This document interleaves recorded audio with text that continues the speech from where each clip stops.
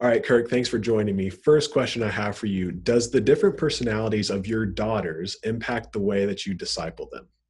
Wow, uh, I think that answer is absolutely. So, in I was thinking about this in First Corinthians 12, Paul talks explicitly about the spiritual gifts and he says there's one body and many members. Then he gives some examples and he says, you know, not everybody's a hand, not everybody's an eye, not everybody's a foot. And he's saying that everyone is gifted differently. And, and I know he's talking about spiritual gifts there, but I think it very much applies to personality as well. I mean, your personality is the way that God has wired you in a certain special, intentional way. And if, if we're going to think about discipleship, I mean, we have to start with Jesus. And there's no way Jesus dealt with all of the disciples the same way he dealt with Peter, for example.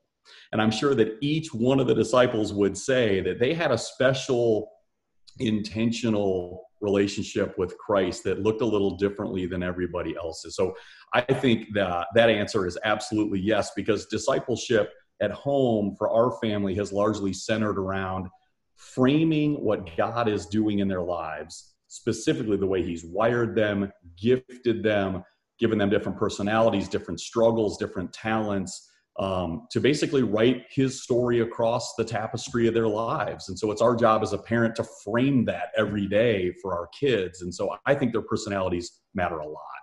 Yeah, and that's great. And one of the common pitfalls that I see parents is they try to parent their teen the way that they were parented or based on their preferences and i mean you you nailed it on the head. We just need to be framing it. We need to be sensitive to their sensitivities so that we can ultimately point them to christ.